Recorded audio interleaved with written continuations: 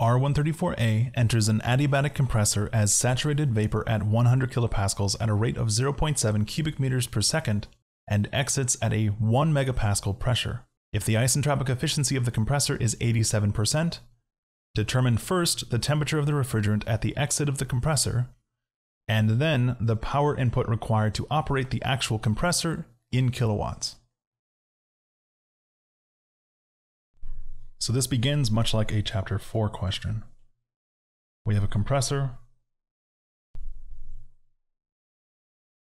We are assuming it's adiabatic. Takes work to power the compressor.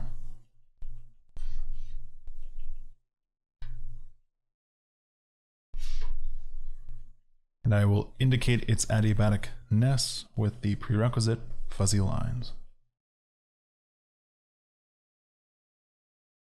So if I were to set up an energy balance on this compressor, that energy balance will simplify down to the work in is equal to H2 minus H1 if I neglect changes in kinetic energy and potential energy, and if I neglect any work in the outward direction and any heat transfer whatsoever.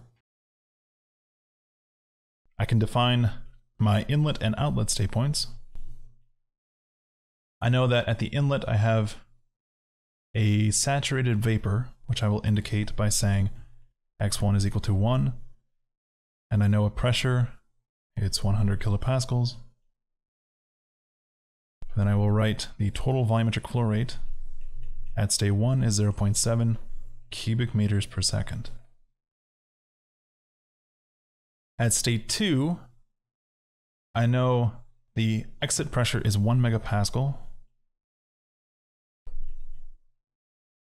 And the other thing I know at state 2 is that the efficiency of this compression process is 87%. So what that means is eta C is 0.87. So what I have to do is actually set up a third hypothetical state point. State 2s.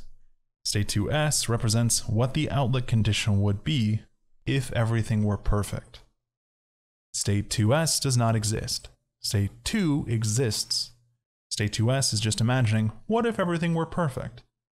It would be like if I gave you a quiz that was out of 35 points, and you were trying to figure out, how many points did I earn?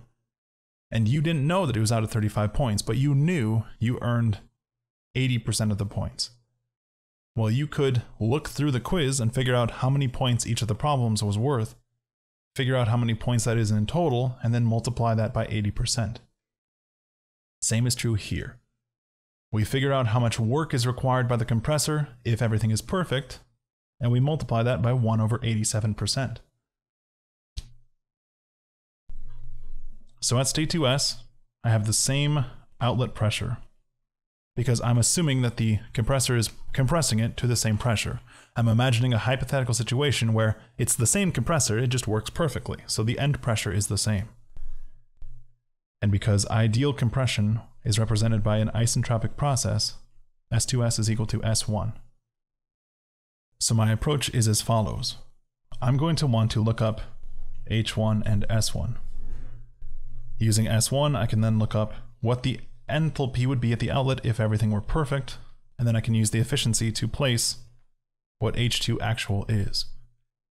Once I know H2 actual, I can use that to determine T2. Then I know the specific volume and the total volume will, when combined, will give me the mass flow rate, which I can use with the difference in enthalpy to figure out the total power. So, here. Eta C represents the proportion of actual and ideal work. Hey, quick question. Does it take more work to compress something in an ideal world or in reality where there's friction and stuff? You're correct. It's reality where there's friction and stuff. So eta C is equal to H2S minus H1 divided by H2 actual minus H1.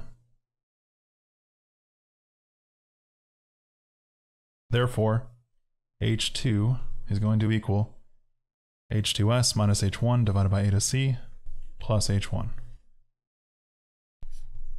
So X1 and P1 give me H1. S2S equals S1, and P2 gives me H2S. Once I know those, I can determine H2, which I can then use to determine T2. That's my structure. Okay, now H1 is going to be the enthalpy at a quality of 1 and a pressure of 100 kilopascals. For that, we'll go into our tables. Don't forget that we have R134A, not water. So if I go into the R134A tables, and I want saturation by pressure, because I have a pressure of 100 kilopascals, which is one bar. So the row corresponding to my state 1 is this one. So at state 1, my enthalpy is Hg at 1 bar, which is 231.35.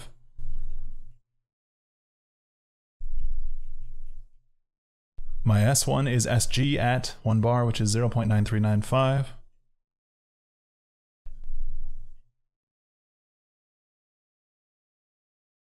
And my V1 is Vg at 1 bar, which is 0.1917.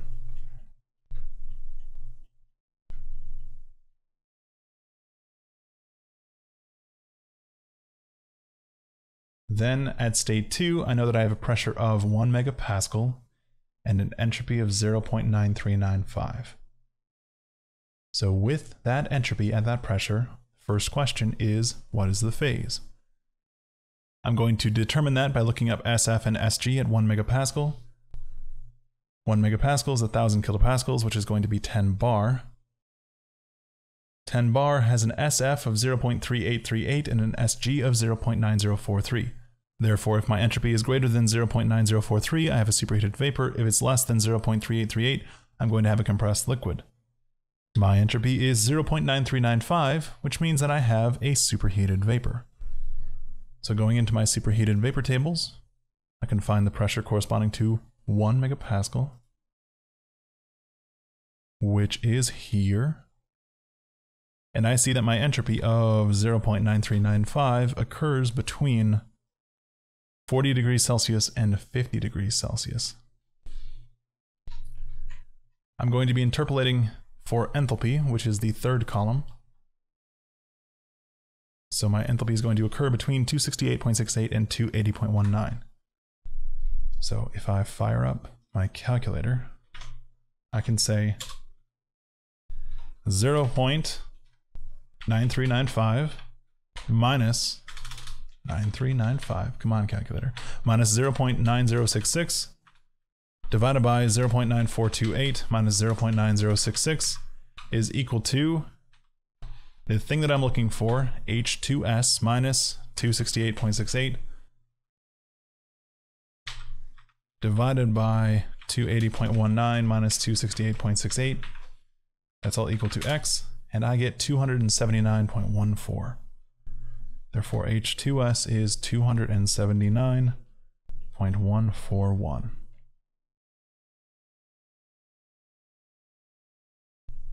You know what, while we're here, let's look up T2S. I know we don't have to, but, you know, character building. So I'm going to use that same proportion, and I'm going to say X minus the temperature at an enthalpy of 268.68, which is going to be 40 degrees Celsius and I'm dividing by 50 minus 40 degrees Celsius.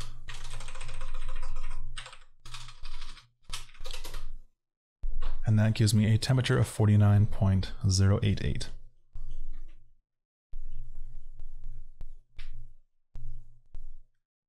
So let's think about this for a moment.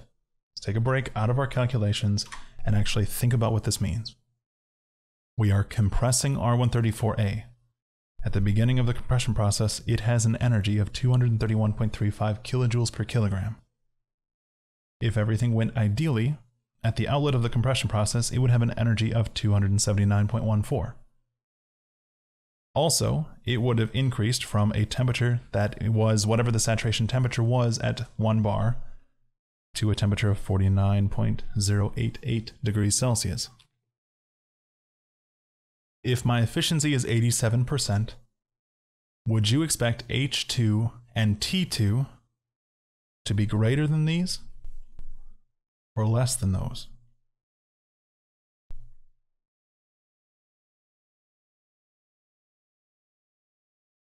You should have said greater. They are going to be greater because I'm putting energy into the substance. If I'm not doing it as effectively, then I'm going to have to put more energy into the substance to get to the desired pressure. That means my enthalpy will increase as a result, which is why it's in the denominator of this proportion, and my temperature will also increase as a result. So T2 should be greater than 49.088. General rule of thumb, the temperature at the end of the process is going to be higher if there's friction. Anyway, I know H2 then is going to be H2S minus H1 divided by eta C plus H1. So calculator, if you would come back. That's going to be 279.141 minus the enthalpy of state 1, which was 231.35, divided by 0.87 plus 231.35. So my enthalpy at that state point is going to be 286.282. That'll be enough to allow me to calculate the power. Then the temperature is going to be whatever the temperature is at 1 megapascal and 286.28 kilojoules per kilogram. So what is the phase at state 2 actual? Well, we can follow the same logic that we did earlier it will lead us to the same result. That logic is, if we look at the saturation tables for R134A, and we find 10 bar, we can compare our enthalpy to the saturated liquid specific enthalpy and the saturated vapor specific enthalpy. Those were 105.29 and 267.97. If our enthalpy was less than 105.29, that means we have a compressed liquid. If it's greater than 267.97, that means I have a superheated vapor. My enthalpy is 286, which means that I have a superheated vapor, which means I go back to where I started. On my superheated vapor tables, I see that my enthalpy of 286.28 is going to occur between 50 and 60 degrees Celsius. I can interpolate for the actual value by taking my enthalpy, which is 286.28, minus 280.19 divided by 291.36 minus 280.19.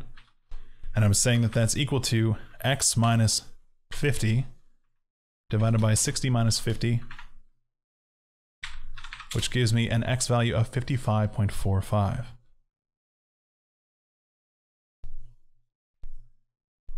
Therefore, the temperature at the end of the process is 55.45 degrees Celsius.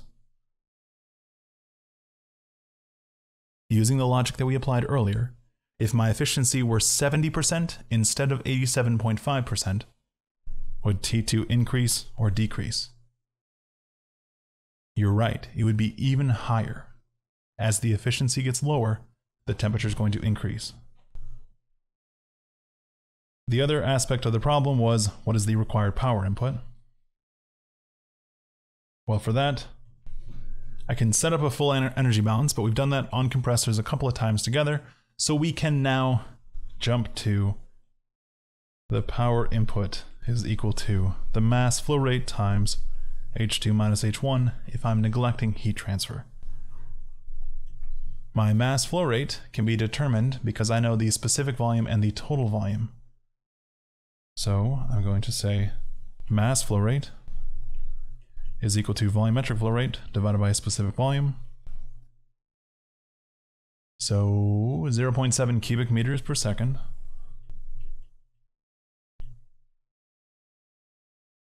Divided by my specific volume, which was 0.1917.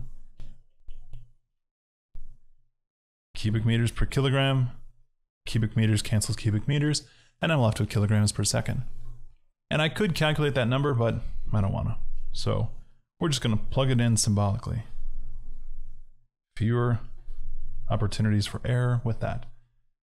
So we have 0.7 cubic meters per second divided by 0.1917 cubic meters per kilogram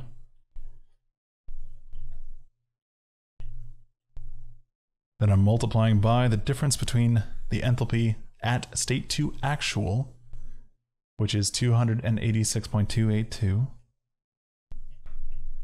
minus the enthalpy at state 1, which was 231.35. My goal is to come up with an answer in kilowatts.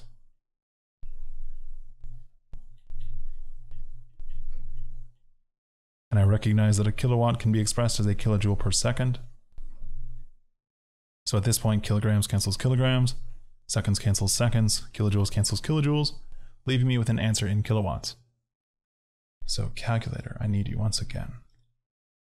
That is 0.7 divided by 0.1917 multiplied by 286.282 minus 231.35. We get 200.586.